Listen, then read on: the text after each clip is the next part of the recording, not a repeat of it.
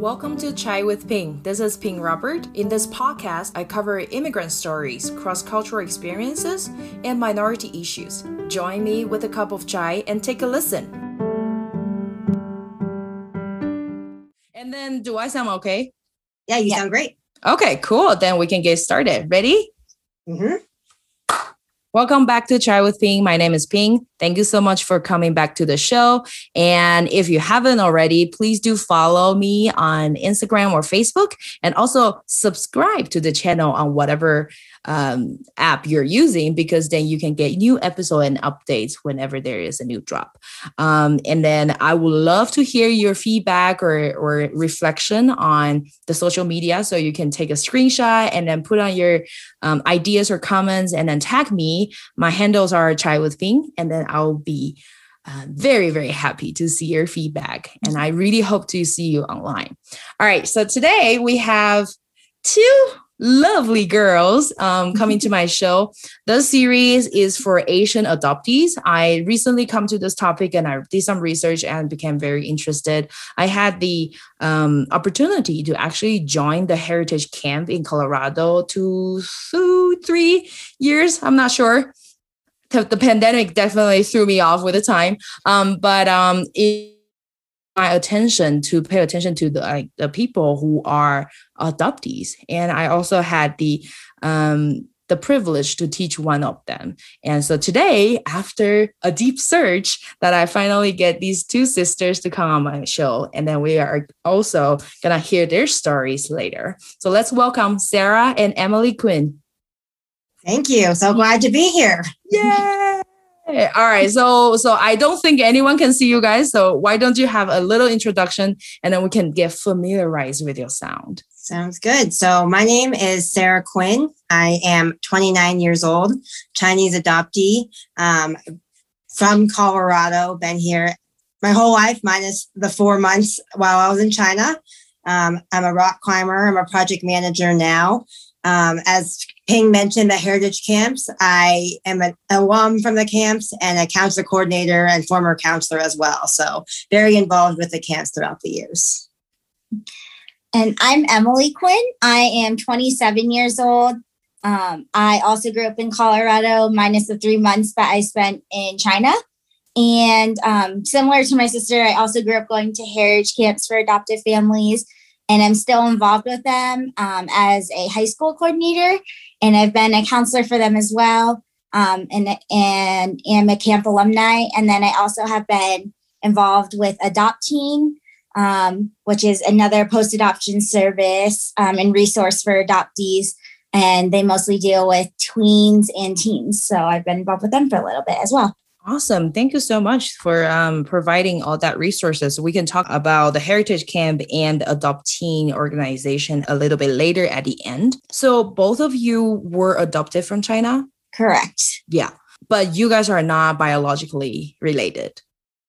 Correct. Yep. I, Sarah, am t- two years older than Emily. So I was adopted in 92 and Emily came home in 94. Um, close provinces, but different provinces. Got it. Wow. So what is the the background of this whole adoption process for you guys? Someone pick it up. um, yeah, so our parents, um, as Sarah said, adopted us two years apart. Um, Sarah's from Jiangsu province, I'm from Zhejiang province. Um, so both kind of southern China. Um, and both of us were adopted during the one child policy, and we're both also adopted during the early wave of when China opened its doors for international adoption as well. So. Mm. Yeah, I believe actually in 92, I was among one of the first groups to actually um, be adopted from China. Um, and so my adoption group was very small. There were just three of us in total. I know as the agencies kind of opened up more adoptions and the country opened up more adoptions, the adoption groups got a lot larger. So really just shows that we were definitely early on in this in the process. Yeah, similarly, um, my group was seven families, so a little bit larger, but still pretty small. Um, and I think Sarah was like the second Chinese adoptee in the state. Um, so it was a pretty big deal back then. Wow, I didn't know that. So Yep. you guys are almost like the celebrities among adoptees. so tell me a little bit. Um, are there other kids in the family? So I actually don't know anything about my birth family. Um, that is something I'm actually really curious about is figuring out if I had any biological siblings. Because um, the other two in my adoption group were not biologically related. Um, but as far as I know, no, we don't really know for sure. Um, I have done like a 23andMe test and found some like relatives, like close relatives or I guess distant relatives, but nothing has indicated I've had I have a biological sibling at this point. Yeah, similarly, um, also did a 23andMe and have the closest relative is like third cousin um, and like maybe 1% shared DNA. Um, I also am super curious about my biological family though, um, and have kind of started the process of searching, but um, not seriously, um, in part because COVID hit. And so it kind of tampered down any uh, progress that I had made. Um, but I had inquired about the process. And so um, if I can ever get the opportunity to do that, I'll know kind of the steps that I can go through to find any biological family. Um, in terms of our adoptive family, no other siblings in our family, um, many cousins, but no other siblings, just the two of us. Mm-hmm. Did you ever ask your parents why they choose to adopt kids from overseas? Yeah, we have. Um, one of the big reasons was they were unable to have biological children on their mm-hmm. own.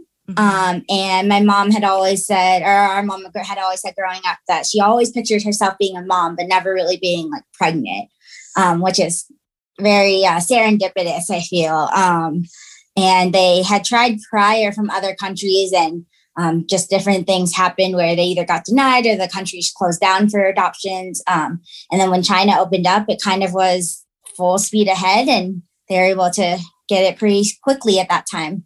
Cool. Did you ever ask your parents where you guys came from or how come? I assume they look different. yes. Yeah. So both, of, both of our parents are white. And so okay. our family definitely looks different than um, a lot of other ones we grew up with. Um, I don't ever remember having the conversation of, of having to ask our parents where we came from. For us, it seems like adoption has just always been something we've known, and our parents have done a really good job of making sure um, we knew that we were adopted, like we knew why we were adopted, um, like where we came from. And our parents even really did, did a really good job of incorporate helping us incorporate both into the American culture where we lived and also the Chinese culture. So um, we did Chinese school for several years. Um, I did Chinese folk dance. Emily did kung fu. Like I said, we attended the heritage camps. And so to me, I don't think there was ever a period where we didn't know our background and where we came from, which I feel very fortunate for now because I've heard other people that haven't had that experience and parents kind of don't really want to talk about that with their kids. It's always been a very open topic for our household. Yeah, kind of going off of that, um, like we definitely never really had like a you're adopted conversation. It was definitely more of um, incorporating it into our daily lives. Um, apparently, when we were really young, before we could even remember, our parents would play you know, music tapes and different things that had um, the word adoption in it and different like cultural aspects or talking about China. Um, and then I think kind of, you know, going off of what Sarah said too, going to heritage camps at such a young age and going to Chinese school and all of that really helped connect us with our Chinese culture. So it was never really a question. Um, like I started going to heritage camps when I was three. Sarah was like five so very young um and so what? yeah. I didn't know they have uh, attendees for that young. I know yeah, so, like for teenagers for sure. For three years old? Yeah so actually our mom was one of the co-founders of Chinese Heritage Camp. So she oh, really helped okay. bring that camp to life. So um, that's just really how devoted she was to making sure that was a part of our story. And yeah, very fortunate for that. Yeah. And she also helped to um, create the Colorado Dragon Boat Festival. Mm-hmm, she was mm-hmm. on the original operating committee. So she was very committed to keeping our culture and having racial mirrors part of our lives so that we never felt too isolated wow, I didn't know that festival was founded by your family. That is just, maybe I should get your mom to the show. yeah, yeah, we'll talk she, about that after we, we record. Yeah, this yeah. is so cool. I, so, well, I have to be upfront. I really don't know who you guys were when Daphne introduced uh, you guys to me. And then I'm just like, oh, sure, I can interview strangers, but I never imagined, because I think I remember the lady who was talking about starting the camps and all that at the end of the heritage camp, which I joined probably 2018. Wow, such a long time ago. How about share a little memories with us? What did you remember while you grew up here? So I remember something that we always did as a family was we would always go to San Francisco for Chinese New Year. Um, I, I mean, Denver's Asian community is definitely growing now, but I would say when we were younger, it was pretty small, um, definitely compared to San Francisco and other parts of the country. And so our family, our vacation every year was to San Francisco for the Lunar New Year Festival, which was great. I always remember doing that. Yeah. Um, I think we stopped doing that when we were pretty young. I think around the year of the dragon, um, because I distinctly remember going there for Chinese New Year and getting stuffed dragons to bring home. Um, and then I think, you know, maybe like the Asian community kind of around here started growing. And then we started um, replacing that trip with going to dim sum here in Denver every year for the Lunar New Year and, um, you know, watching Shaolin Hung Mei with their lion and dragon dances. Um, and so I remember that. And then I, I also just distinctly remember going to camp, honestly, as well. Um, it's definitely where I feel like we bonded, especially when we were older because we were in the same group, but also where we were able to bond with other adoptees and other families who looked like ours. Um, and some of our really good friends, some of both of us have like really good friends, and possibly like some of our closest friends are from that camp as well. So. Mm-hmm. Yeah, I mean, our, our mom, like you said, was the director of China Camp for several years. And then our dad was a truck driver for several years. So it truly was a family affair and just something we looked forward to every single year. I remember one year my mom was late registering us. And so we actually like got waitlisted for camp. And I was like bawling my eyes out because like camp was such an important part of our life. And it's something I just knew every single Labor Day we'd be going up to Snow Mountain Ranch for camp. And so my mom, I think she should take Emily to the doctor. So she was missed the registration and it was so popular. It waitlisted. And so as you remember crying to my mom about how the year was going to be ruined and it was like the worst thing ever. And um, of course, of course, Pam was like, you guys are always welcome to come to camp. You're never going to be waitlisted. So that made me feel better, but that just really, it just really shows how much, how important Heritage Camp was to us. Yeah. yeah. And then you basically grew up in the camp. So it's almost like a huge family for you guys. Exactly. Yeah, for sure. I, I definitely consider it kind of like a home away from home. And mm-hmm. I remember like after my first or second year in college, I was helping out with the Chinese Heritage Camp um, 2, which is in Denver. And I remember I was coordinating for elementary school at that point, but then I had to step down because I wasn't able to make it back to camp because I had summer school for my major. Um, and I remember like talking at the parent meeting and starting to cry because it meant so much to me that I couldn't like come back to help more people too. Um, and I think like, you know, just growing up and being part of like the Asian community here is just a distinct memory also. Like another big thing I remember is when we would go to the Colorado Dragon Boat Festival. And there's two memories I have from that. One, when we did like the official like ribbon cutting together um, to open up the festival. And then another when we were working the Pepsi booth actually um, with some other people who were volunteers but who knew our family pretty well. And just getting to spend that time with kind of like older aunties and uncles um, from the Asian community was really rewarding. I feel like these are the parts where your family kind of thrive and become successful of supporting you guys. Have you ever felt out of place in your other communities because of your racial identity or how you look? Yeah, I think in both American school and Chinese school, we both felt slightly out of place. I mean, I know in like regular school, we were one of the only Asians at the school. And so we definitely looked different than most people. Um, and even where our parents still live, it's a very white um, area. And so there's not a lot of Asians there. Um, it wasn't even really until college when I started to um, actually meet other Asians and, and really be friends with people in the Asian community out, outside of Heritage Camp. Um, like college is really where I saw other Asian students who were my age. Um, but I think even at Chinese school, there weren't very many adoptees there. And so majority of the people were Asian kids with Asian parents. And so I think we felt a little at a place there as well. But again, I mean, our mom even signed up to take classes with us. And so another thing she did really well was try to just to try to help us get acclimated with the culture was she enrolled herself in Chinese classes. So I think that was really helpful also.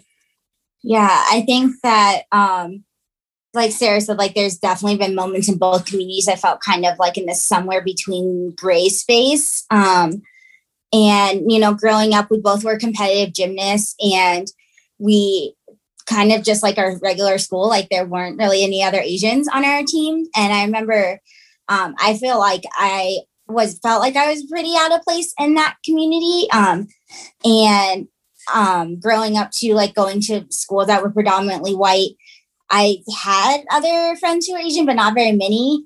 Um, and in elementary school, I actually sought out another and first day of kindergarten, I sought out another Asian girl. I kid you not, and we became best friends. And I actually found out later, um, very soon, but found out like you know a couple hours in or whatever that she was also a Chinese adoptee. So I think that's part of why we became best friends so young. Um, but then I think kind of similarly, like not until I went to college was I really did I really pick and was able to pick and choose other people who are from Asian cultures and surround myself with them um, and really get to know kind of more of like their traditions growing up versus like the perspective for as being an adoptee. Have any people say any hurtful things to you guys? Honestly, I didn't get a lot of discrimination growing up, um, which is great and very fortunate for that. I do remember one distinct moment in gymnastics. A girl came up to me and said, You have a flat face, flat face, flat face, and kind of ran away. And so I remember just going up to my mom and crying and being like, why did she say that? And um, obviously that got addressed by the coach really quickly and, got shut down. Um, but that's really the only thing I, I can vividly remember growing up. Yeah, I don't really vividly like remember much about um, that, but I think that I definitely experienced different forms of racism and different microaggressions. But because it took a while to really understand what those were, um, and then not really learning too much about race growing up, I think it's hard to kind of pinpoint like a distinct time.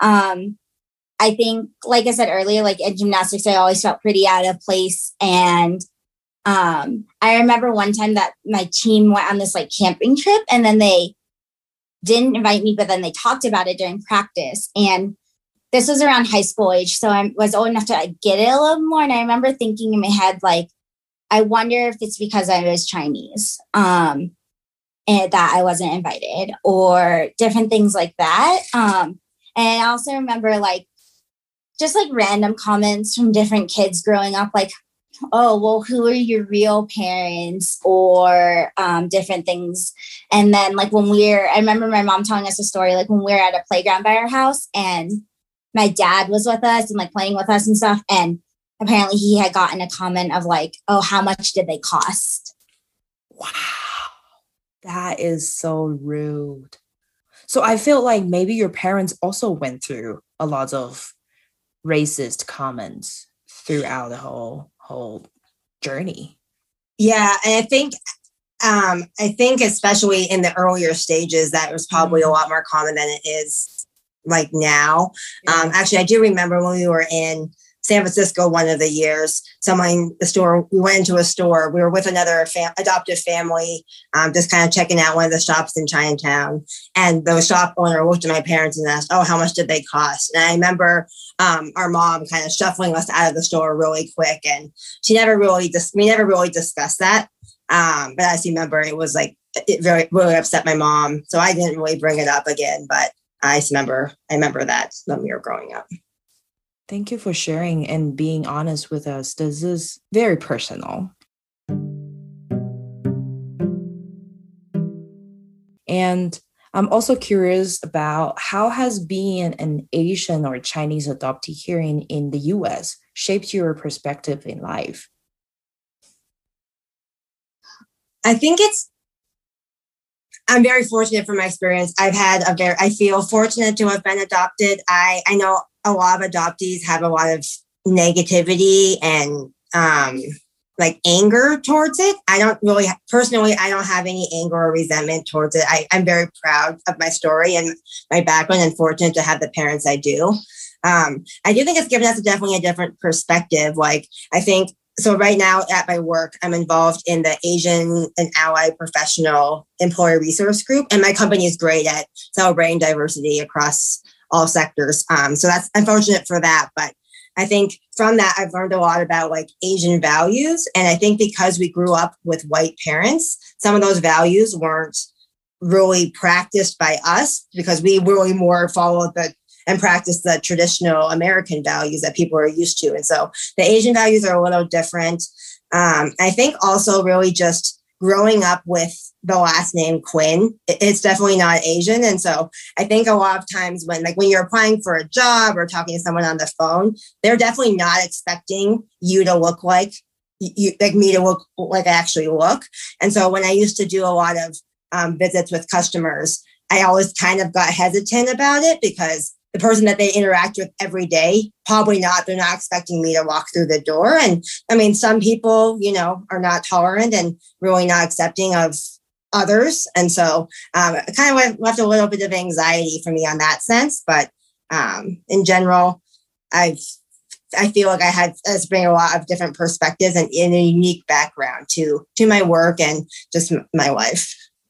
Yeah, I think for me too, it's kind of just been able to give me a very unique perspective and see the world through such a different and um, kind of unique lens as well. Um, I feel like similarly, like I feel super fortunate to have the family I do from parents to grandparents to aunts and uncles to sister. Um, like we're like pre- we're best friends. So in that sense, like I wouldn't have it any other way for sure.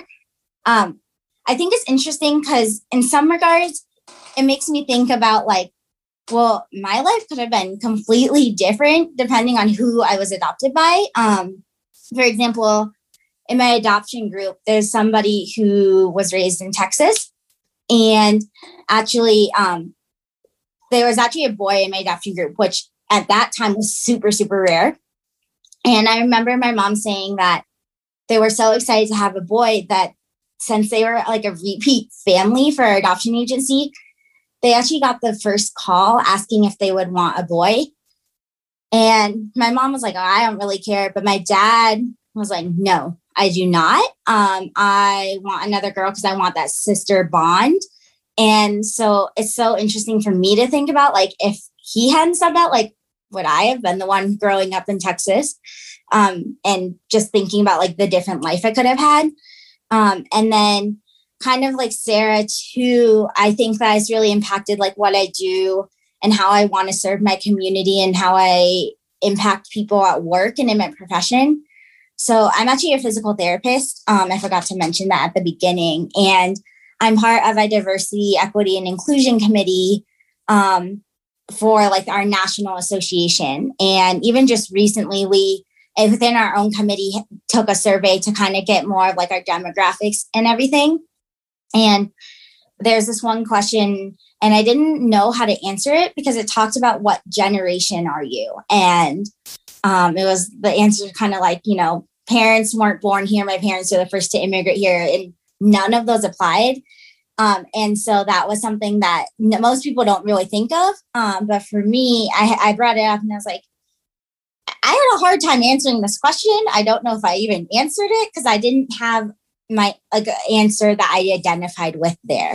Um, and so that just brings into like that whole unique experience, just like another perspective as well, and another layer of identity that I think is a huge part of my identity that other people don't necessarily have to deal with. Yeah, thank you so much for sharing that because I think we are more than just a checkbox and a lot of issues are, are, are just behind all those questions and how they frame the questions as well.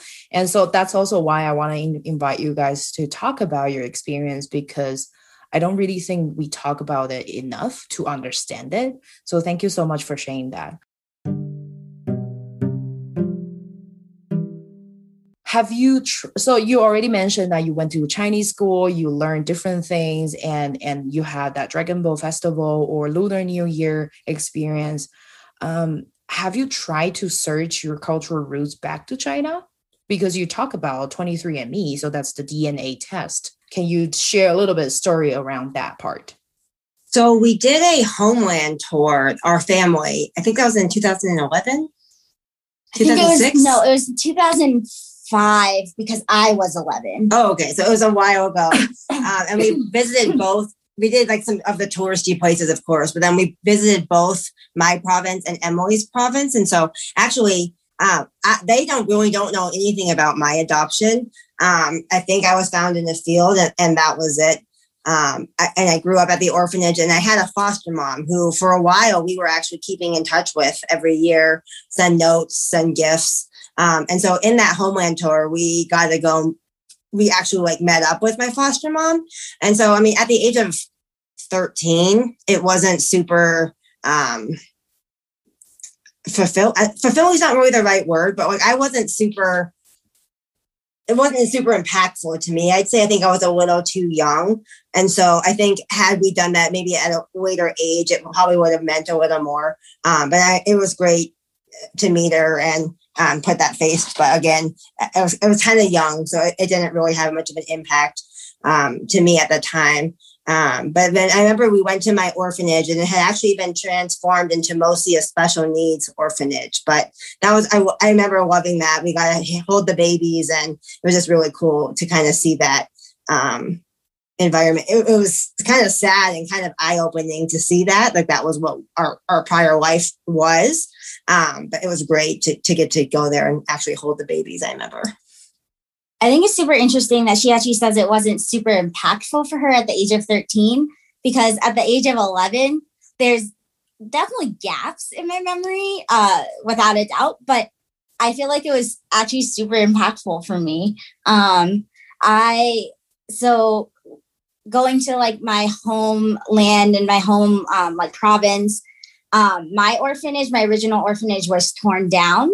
And so, luckily, it was just recently torn down. So it's interesting because we went and saw the ruins from that. And then we went and saw the new orphanage that was built and like met up with the orphanage directors from what was present day and then like the past orphanage directors, including the ones who um, like cared for us. Um, and so I thought that was super interesting. And then um, kind of going off of what she said about holding the babies, I remember at my orphanage in particular, um, I got to hold a little baby who was around one years old, and um, I remember all of the um, the like aunties, the caregivers were saying to all the little kids, like, "Look, it's your Jia it's your Jia and um, I thought that was like that still is like definitely one of the memories I hold really close to my heart.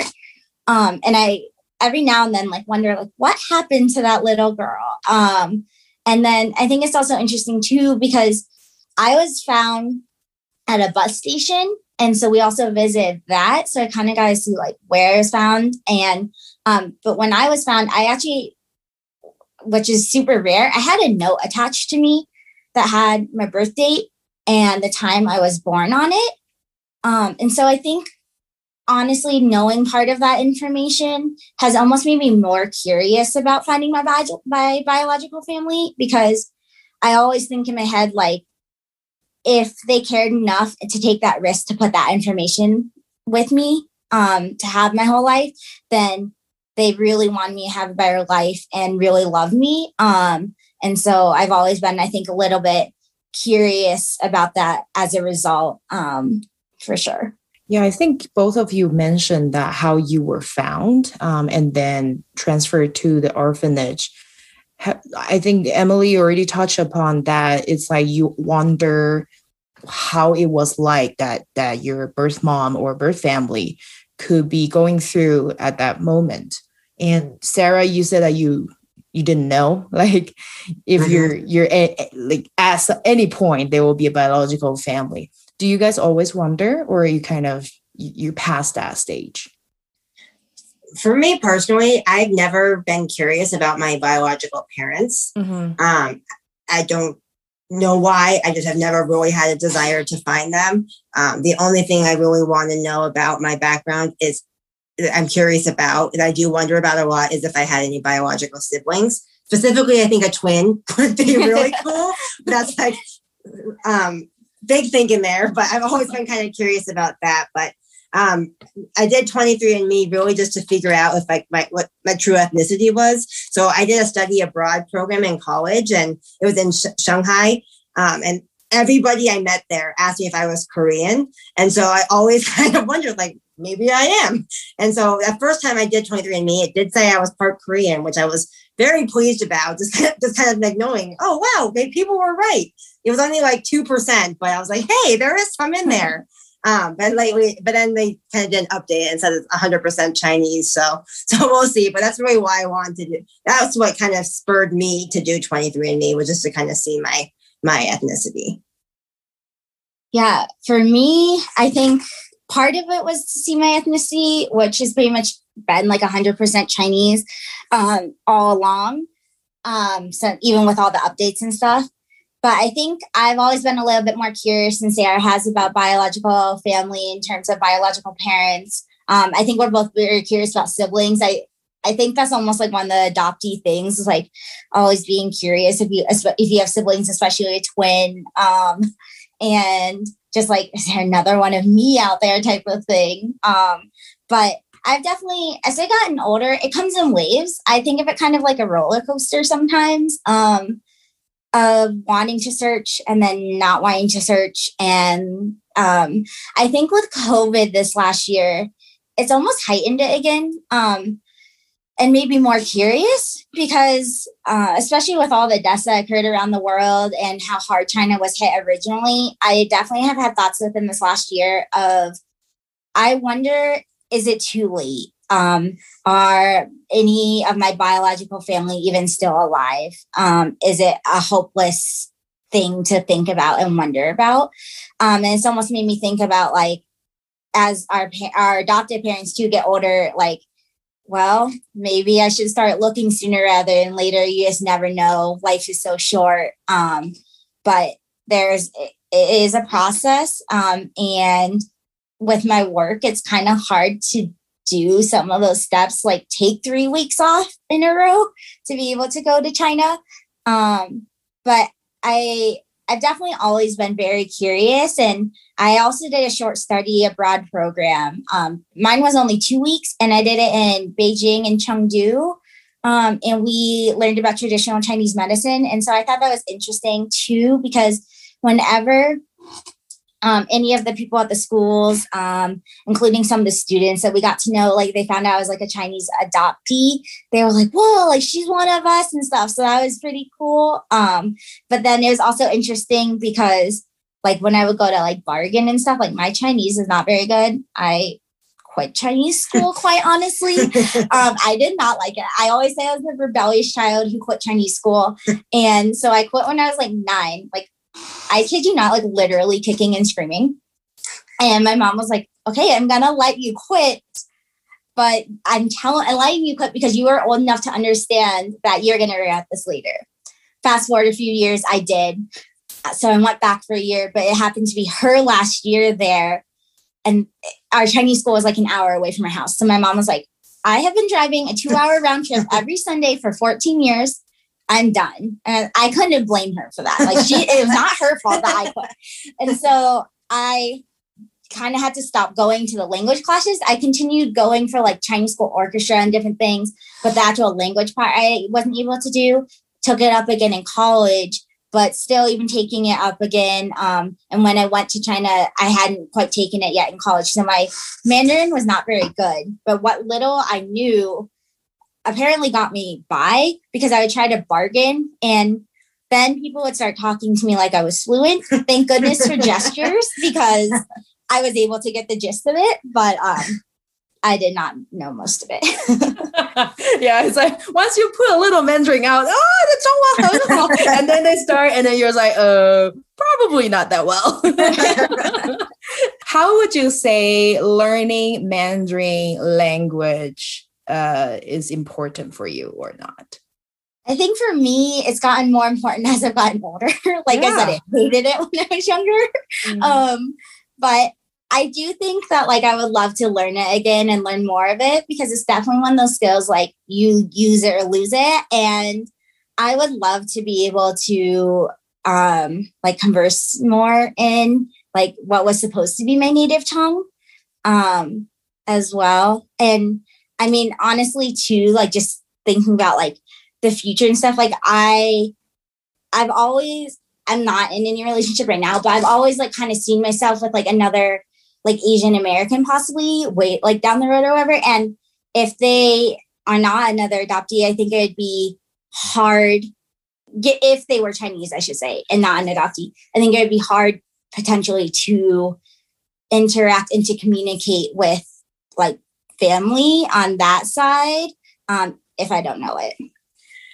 Yeah, growing up, I always wanted to like my dream job actually um, was to be a interpreter. I thought that would be such a cool job, and so I think knowing Mandarin obviously would have been crucial crucial for that.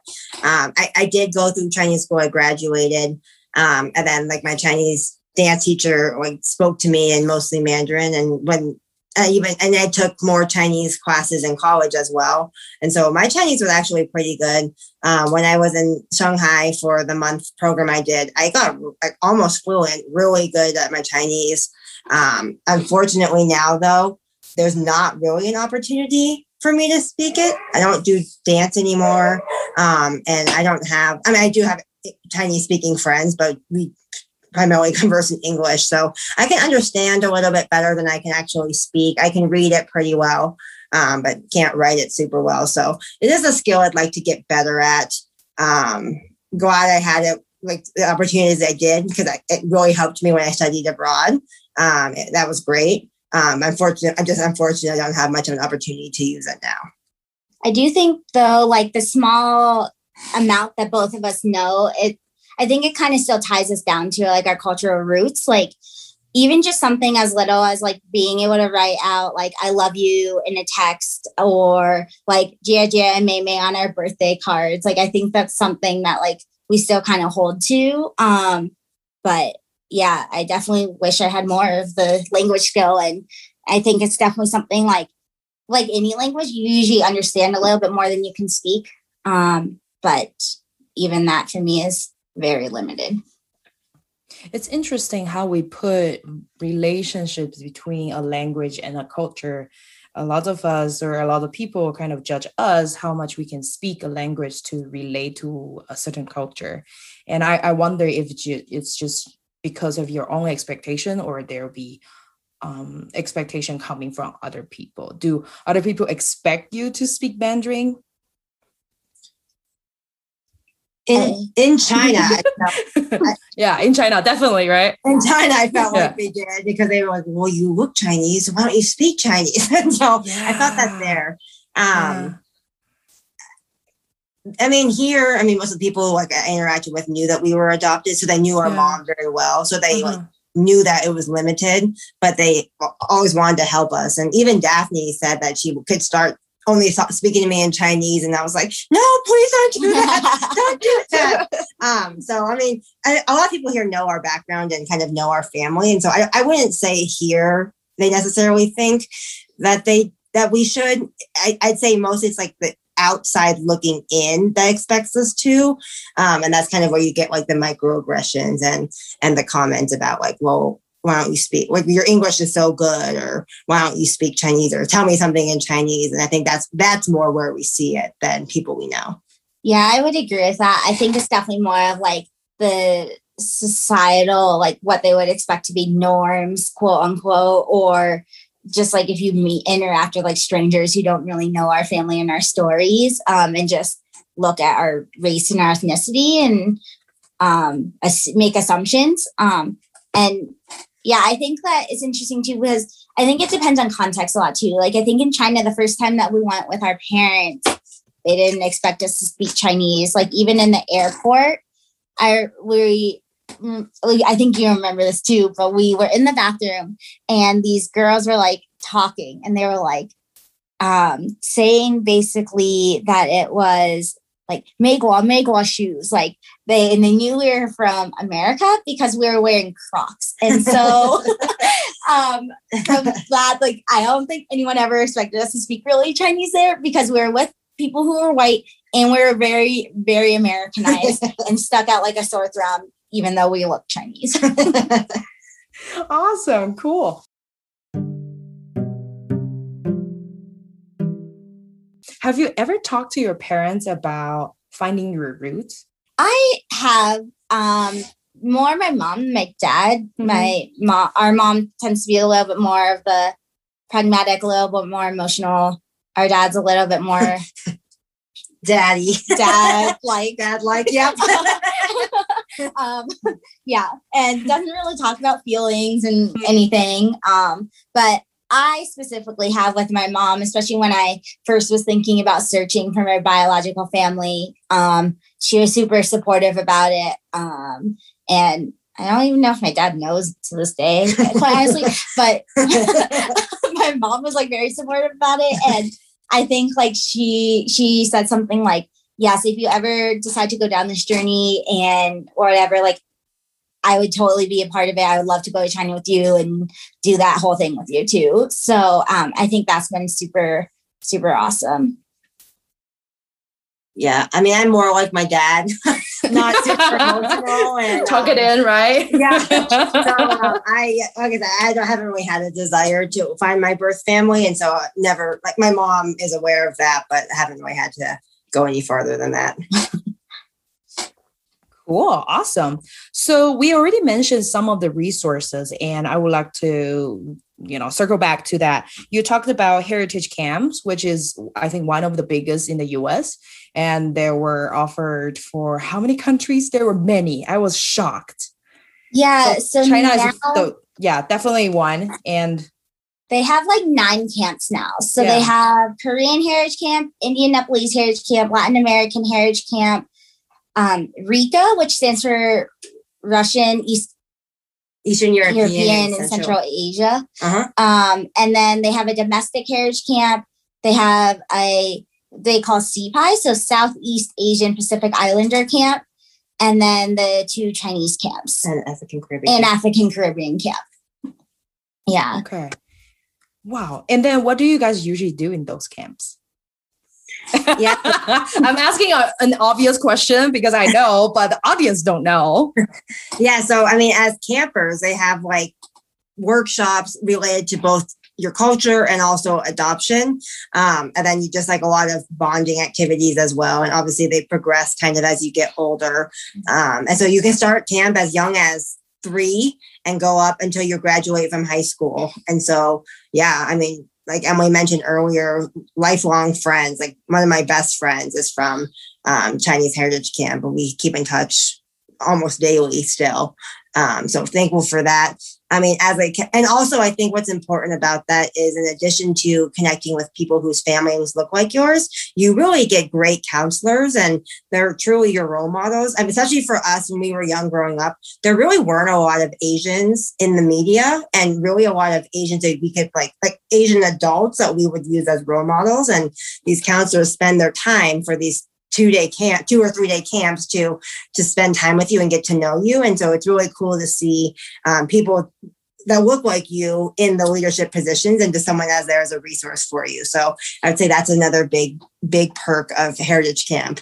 Um, like that's how I met Daphne and some of my other great friends, lifelong friends I consider my my lifelong role models as well, and I met them through um, them being my counselors at heritage camps. Yeah, and the other thing I think that's super nice is that it's actually a family camp. So there's a lot of other post adoption resources out there, including Adopteen, which I mentioned, but um, it's not family oriented, and so Heritage Camps for Adopted Families is a family camp. So the kids go off in their own grade levels during the day, the adults go off and do their own workshops during the day. And then there's family time. Like you come together at lunch, you come together at dinner.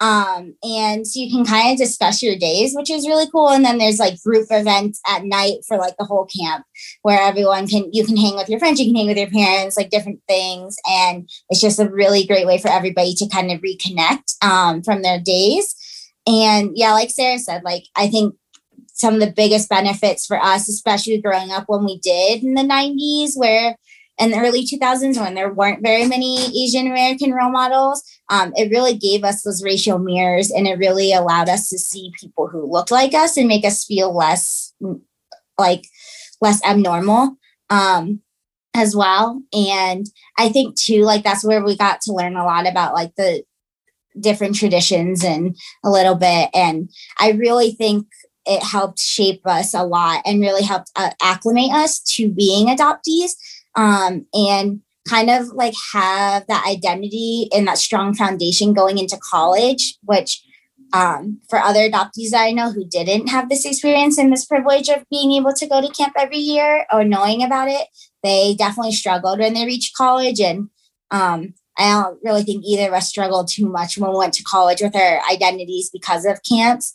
Um, and it, they also inspired me personally to like create different communities on my own campus for adoptees as well.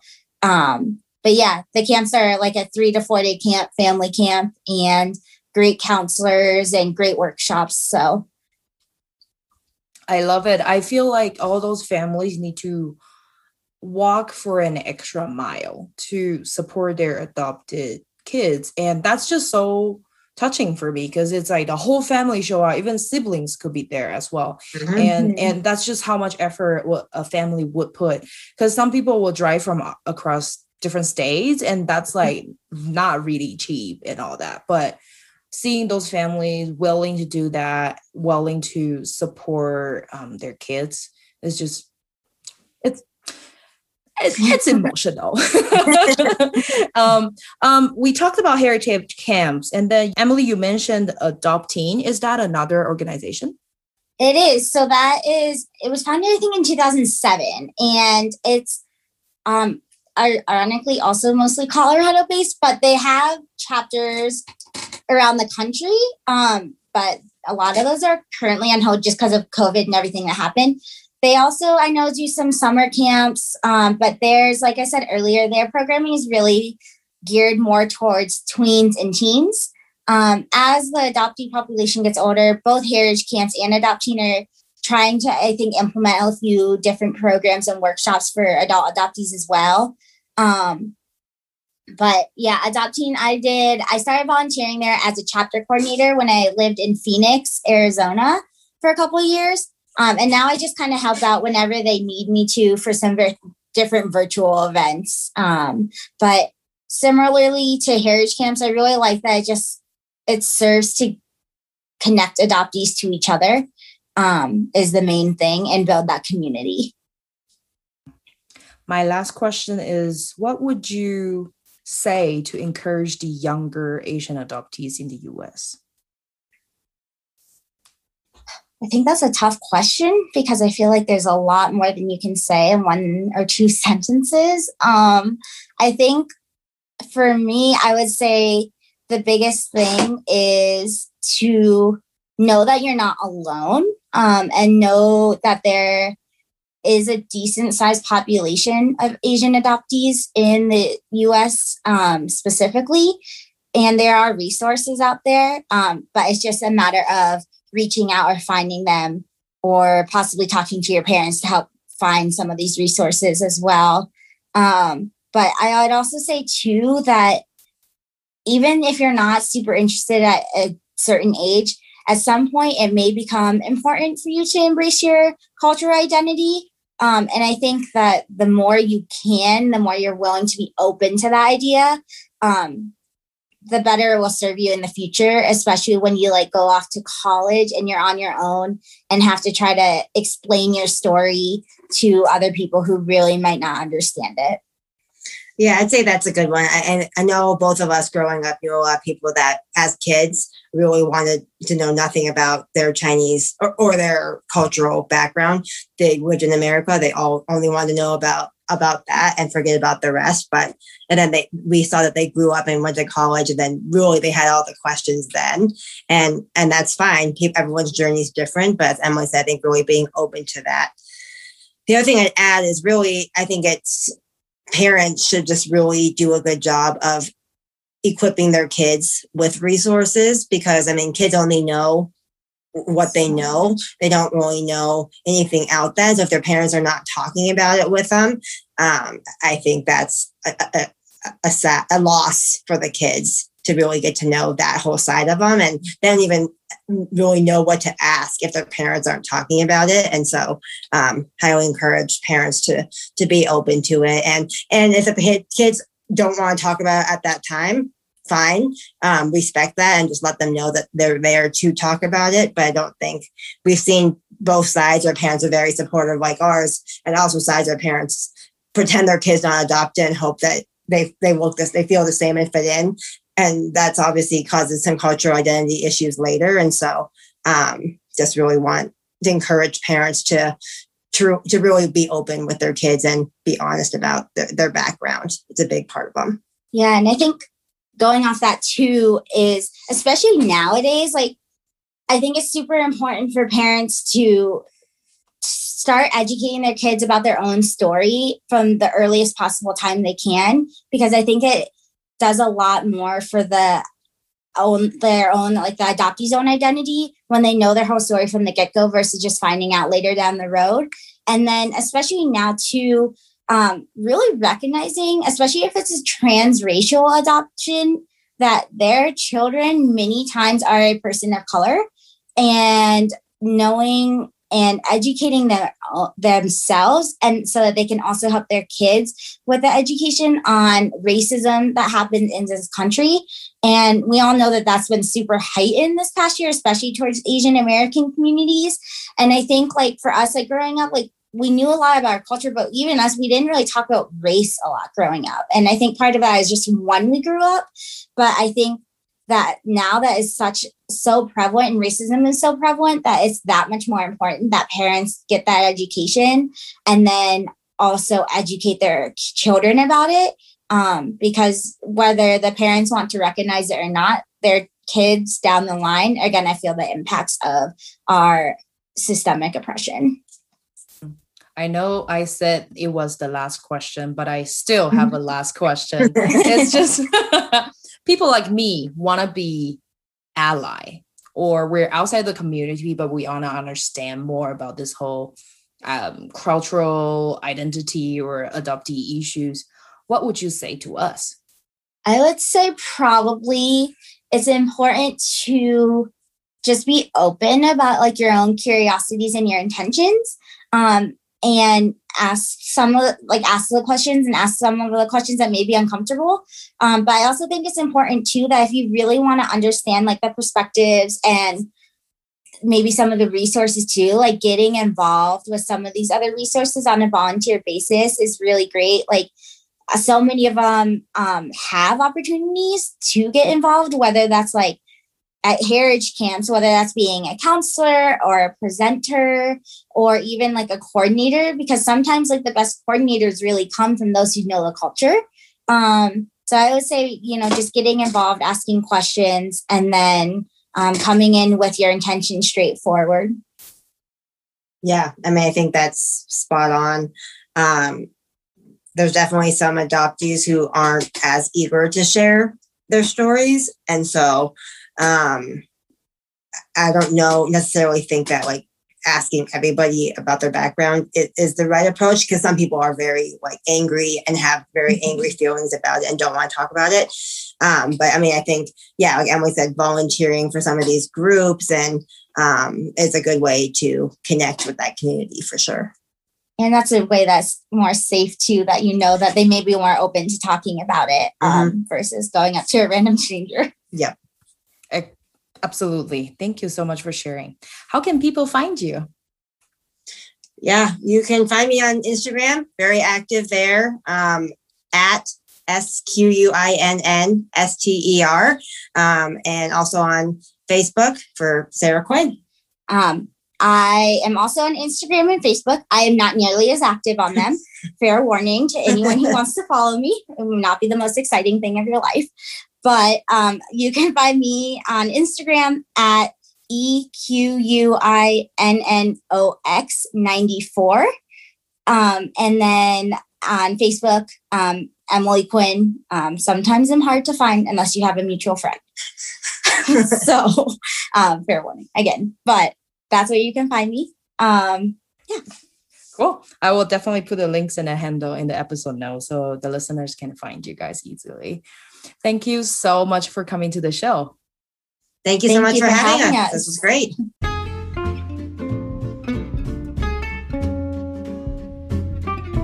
Thanks for listening to Chai with Ping. If you think someone will benefit from this episode, don't forget to share it with them. You can also follow us on Facebook and Instagram. If you like my show, you can buy me some chai with small donations. Details are in the episode notes.